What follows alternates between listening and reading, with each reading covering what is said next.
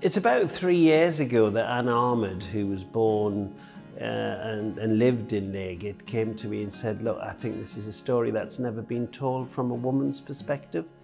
What people tend to focus on are the riots of the 1930s, uh, which didn't really reflect the area. Um, Anne felt very strongly that it was so multicultural, it was an example to the world of how um, different cultural backgrounds could get together in one melting pot.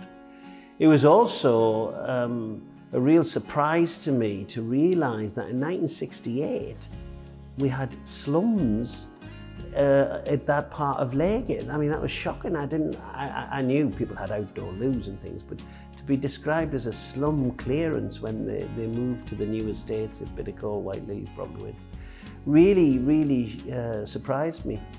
I've learned so much from being involved in, in the development of this uh, story and uh, having Mina Anwar to come along and uh, work with Anne to develop the script has been quite a journey for us all.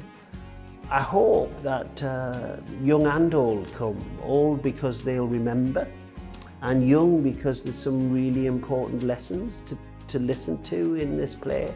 And I think the way creatively it's been put together by our in-house team uh, and friends of the Customs House has, has been, it's been a reminder of what would be missing and, and to see how engaged that audience was tonight with storytelling.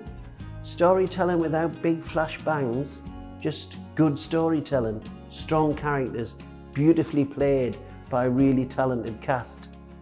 We'll be missing that for a long time. So please come down and see it because you'll regret you didn't see our Laygate.